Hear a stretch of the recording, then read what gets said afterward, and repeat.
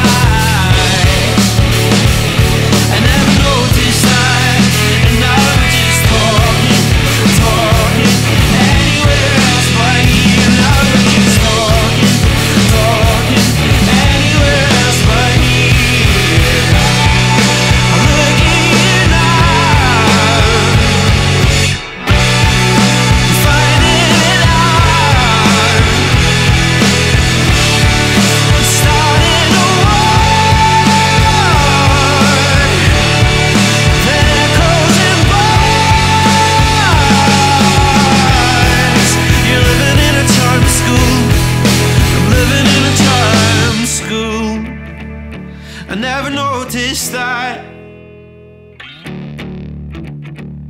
I never noticed that. And now we're just talking, talking anywhere.